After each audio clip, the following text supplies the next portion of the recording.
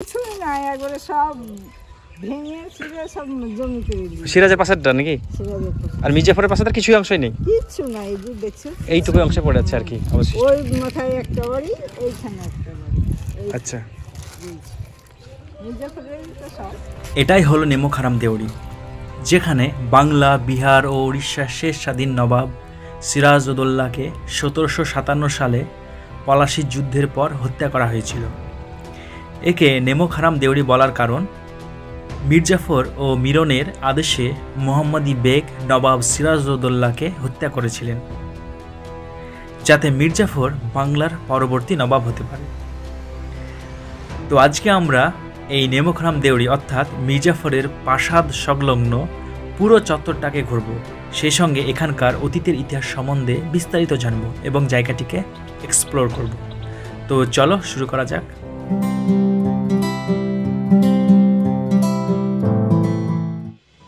বর্তমানে ভারতের পশ্চিমবঙ্গের মুর্শিদাবাদের হাজারদুয়ারি প্রাসাদ থেকে প্রায় তিন কিলোমিটার দূরে জাফরগঞ্জ সিমেট্রির বিপরীত দিকে এই জরাজীর্ণ নেমুকরাম দেওরি বা মির্জাফরের প্রাসাদটি অবস্থিত, যেটি পলাশী যুদ্ধের ইতিহাসের সঙ্গে জড়িয়ে আছে। নিমখারাম একটি হিন্দি শব্দ, যার মানে এমন কেউ যাকে বিশ্বাস করা যায় না, অর্থাৎ যার নুন খায়, তার ক্ষতি করে। আর দেউরি বলতে বোঝায় দরজা। তাই নেমখারাম দেউরি কথাটার অর্থ দাঁড়ায় অবিশ্বাসীর দরজা বা বেইমানের দরজা। আর যেহেতু সিরাজদৌল্লাকে এখানেই হত্যা করা হয়েছিল, তাই অবিশ্বাসী মির্জাফরের প্রাসাদের এই প্রধান দরজাকে জনসাধারণ পলাশী যুদ্ধর পর থেকেই এই ঘৃণা ভরা নামে ডাকা শুরু করে দেয়। এই মিনার সম্মিলিত প্রাসাদটি তখন পাহারাদার ও কামান দ্বারা সুরক্ষিত ছিল। তবে বর্তমানে প্রাসাদের কোনো জাঁকজমকতা বা চিহ্ন না থাকলেও এই বিখ্যাত দেউরিটি এখনও দাঁড়িয়ে আছে, যেন মির্জাফরের নিমক হারামির সাক্ষ্য দিতে। জাফরগঞ্জের এই প্রাসাদে সিরাজের প্রধান সেনাপতি মির্জাফর সপরিবারে বসবাস করতেন। পলাশির যুদ্ধের আগের দিন ষড়যন্ত্রকারীদের কুখ্যাত বৈঠকটি এখানেই অনুষ্ঠিত হয়েছিল। সেই বৈঠকে অংশ নিয়েছিল ইংরেজ সেনাপতি ওয়ার্ড মির্জাফর এবং তার কুচক্করি পুত্র মীর মিরন উইলিয়াম ওয়ার্ড ছিলেন ইংরেজদের কাশিমবাজার কুটির প্রধান। এই কাশিমবাজার কুটি থেকে অঙ্গীরিত ব্রিটিশ শাসনের বিষাক্ত বীজ থেকেই কালক্রমে জন্ম নিয়েছিল ব্রিটিশ সাম্রাজ্য নামের বিষ আগে টিকিট থাকতো ওইখানে? এইখানে এই গেটে গেটে টিকিট করে তখন আটানা টিকিট তখন যে দেখাতো যাদের বাড়ি ঘর যাদের গেট ওরা দিয়েছিল যে বেকার ছেলেরা তোরা থাক এখানে। দিয়ে ওই ফুটা ফুল বাগান মুল বাগান অনেক কিছুই করেছিল। তারপর ছবি ওদের নবদের অনেক স্মৃতি এই ঘরের মধ্যে একটা ভাঙা ঘরের মধ্যে ওদের আর কি সবকিছু ছিল ওদের স্মৃতিগুলো হ্যাঁ, যখন- তখন টিকিট কাটা মানে ব্যবস্থা ছিল আর কি। হ্যাঁ টিকিট করে টিকিট ছিল। আর সেই ভিতরে অনেক কিছু দেখার জিনিস ছিল। ছিল। দিয়ে দেখে যে ওরা যখন এসে- এসেছিল নিজের কানে শুনেছে যে ওখানে এমন খিস্তি দিয়ে গাল দিল যে বলছে এই এই আটানা করে টিকিট দিয়ে পয়সা নিয়ে আমার দরকার নাই লোক দরকার মানে মানুষ আসতো এখানে খিস্তি মারতো তার জন্য আর কি বন্ধ করে? দেখতে পেলাম না নবাবদের ছবি দেখতে হ্যাঁ, পেলাম না। আর- আচ্ছা নবাবরা কি বেঁচে আছে? আসল ছবি দেখতে পাবে? হ্যাঁ, তাই তো। যে ওখানে যে গালাগালি দিয়েছে ওরা সেই সময় ঢুকছিল। নিজের কানে শুনে এখানে যে ছেলেগুলো ছিল ওদেরকে তাড়িয়ে দিল দিয়ে বন্ধ আর ভিতরে সব জিনিসগুলো সব সব নিয়েছিল ওই কলকাতায় নিয়ে চলে গেছে? কলকাতা নিয়েছিল তাহলে ওদের পরিবারে এখানে আপাতত কেউ নেই? ওদের পরিবারে এখানে থাকে না। মহরম টাইমে বলছিল মহরম টাইমে এসে থাকে। কোনো উৎসব হলে এখানে আসে সন্ধ্যেবেলা আবার চলে যাই হ্যাঁ। কে বলে গাল দিয়েছে সব ওই ভিতরে একটা কবর রয়েছে ওটা কার? খবরটা বললাম যে বাড়ি বাড়ির লোকের তাই তো? তো আপনারা দেখতে পাচ্ছেন এটাই মির্জাফরের বাড়ি ছিল অতীতে। তো ওদের বংশধরের কেউ বর্তমানে এখানে থাকে না। সবাই কলকাতা চলে গেছে আর কি। বছরে একটি দিনে আসে, মহরমের দিনে। আবার সেই দিনে ওরা আবার চলে যায়। পলাশের যুদ্ধের আগের দিন ওয়াটকে প্রাসাদে স্বাগত জানান জাফর পুত্র মিরন। বৈঠকটি অনুষ্ঠিত হয় প্রাসাদের হারামে। ধুরন্ধর ওয়াট মীর জাফরের মাথায় পবিত্র কোরআন এবং মীর জাফরের হাতকে পুত্র মিরনের মাথায় রেখে উপরাওলার নামে শপথ করিয়ে নেয়, যে তিনি যুদ্ধে ইংরেজদের প্রতি বিশ্বস্ত থাকবেন।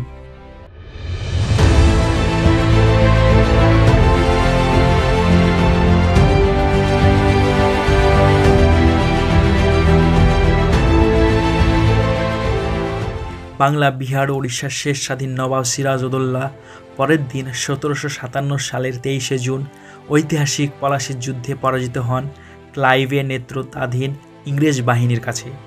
সিরাজের পক্ষে পলাশির ময়দানে প্রধান সেনাপতি ছিলেন মির্জাফর আলী খান। ভারতীয় উপমহাদেশবাসীর কাছে যার নাম বেইমানি আর বিশ্বাসভঙ্গের সমার্থক হিসাবে ঘৃণিত। এই দিন সত্যি সত্যি বেইমানি করে তিনি তার বিশাল বাহিনী নিয়ে যুদ্ধে নিষ্ক্রিয় থাকেন। পলাশি যুদ্ধে নবাব সিরাজদৌল্লার পরাজয়ের পর ইংরেজদের প্রতিশ্রুতি অনুযায়ী বাংলার মনসদে বসেন মীর জাফর আলী খান। শের মুতাক্করিনের বর্ণনা অনুযায়ী মিরনের নির্দেশে মোহাম্মদী বেগ হত্যা করেন নবাব সিরাজকে। এই মোহাম্মদী বেগ নবাবের পরিবারে আশ্রিত, প্রতিপালিত ও প্রতিষ্ঠিত হন। সতেরোশো সাতান্ন সালের জুলাই মাসের দুই তারিখে মুর্শিদাবাদের অদূরে রাজপথে ধারে একটি নিম গাছের নিচে পান হারান বাংলার শেষ স্বাধীন নবাব। জীবন বাঁচাতে ওই পথ ধরে যাওয়ার সময় ধরা পড়েন তিনি। তবে রবার্ট ওর্মের বর্ণনা মতে, ভাগীরথী নদীর তীরে মনসুরগঞ্জ প্রাসাদে হত্যা করা হয় সিরাজকে। এই প্রাসাদের অপর পাশেই অবস্থিত এই নিমকহারাম দেউরি বা জাফরগঞ্জ প্রাসাদ। হত্যার পর নবাব সিরাজের মৃতদেহ সারা রাত ধরে ফেলে রাখা হয় জাফরগঞ্জ প্রাসাদে। পরের দিন তাকে হাতির পেছনে বেঁধে সারা মুর্শিদাবাদ নগরে ঘোরানো হয় তার মৃতদেহ। উদ্দেশ্য ছিল নবাবের নামের প্রতিষ্ঠানকে চরম হেয় করা এবং মানুষের মাঝে ষড়যন্ত্রকারীদের ব্যাপারে ভীতি ছড়ানো। বর্তমানে মির্জাফর বংশের কোনো লোক এই বাড়িতে আর বসবাস করে না। তবে প্রতি বছর তারা মহরমের সময় এখানে ঘুরতে আসেন বেইমান মির্জাফরের কুকীর্তির সাক্ষ্য হিসেবে এই নেমোখারাম দরজা এখনও দাঁড়িয়ে আছে ভাগীরথীর তীরে। নবাবী আমলের প্রায় সব স্থাপনই আজ ধূলিসাৎ। তবে সেই নেমোখারাম দেউরি আজও দাঁড়িয়ে আছে মির্জাফরের বেইমানির প্রতীক হিসাবে। বারো দিন বেঁচে ছিল, বারো দিনের দিন মারা গেল। শাহেদ জাফর আলী খান ওর নাম? হ্যাঁ? রেজার আলী খান? আচ্ছা। জাফর আলী খান আর বাবার নাম। তাহলে উনি একাই থাকতেন নাকি? চার ভাই চার ভাই থাকতো তখন? ভাই হ্যাঁ। মারা যাওয়ার পর সবাই চলে গেছে? না না আগে থেকেই চলে গেছে ইও চলে গেছে ইয়ে আসা যাওয়া করতো। মানে ইউ চলে গেছিল আসা যাওয়া করতো আর কি। ও কলকাতায় থাকতো? কলকাতা।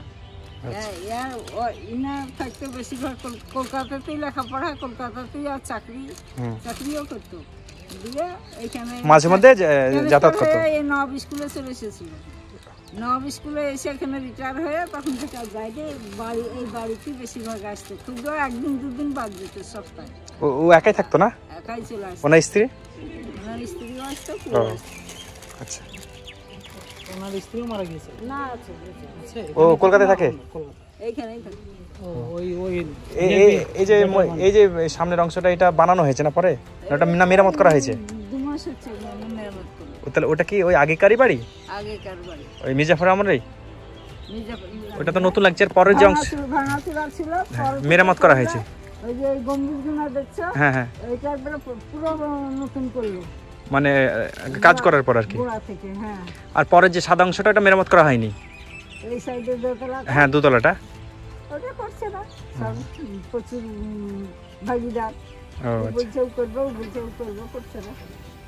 ওটা তো সে সে আমলের ওই বাড়িটা পুরনো। সেই আমলের ওদের মেলা কর্মচারী ছিল যখনই আসল বাড়ি ভেঙে যায় তখন এই বাড়িটা আসল বাড়ি কোনখানে ছিল? এই গঙ্গার ধারে। কিছু অংশ নেই না? সব ভেঙে গেছে। ওই পাঁচিরের ওই দিকে ও। এদিকে গেট ছিল? ওইদিকে গেলে কিছুই দেখা যাবে না এখন? শুধুই মাঠ। আর সিরাজের যেটা প্রাসাদ ছিল হিরাজের প্রাসাদ ওইটা? গঙ্গার ওপারে। গঙ্গার এপারে মির্জাফরের প্রাসাদ ছিল। আর ওই পারে ছিল সিরাজের প্রাসাদ। ওরও কি অংশ কোনো অংশ নেই না সিরাজের? অংশ না এমনি ভাঙাচুরা এইসব কোনো জায়গাতে এতটা কোনো জায়গাতে ভাঙা একটু সিরাজের পাশাদের আছে। কিছুই নাই একবারে সব ভেঙে সব জমি করে সিরাজের পাশেরটা নাকি? সিরাজের ভিডিওটি ভালো লাগলে লাইক শেয়ার কমেন্ট করে আমাদের পাশে থাকবেন এবং পরবর্তী ভিডিওর জন্য আমাদের চ্যানেলটিকে সাবস্ক্রাইব করে নেবেন। ধন্যবাদ।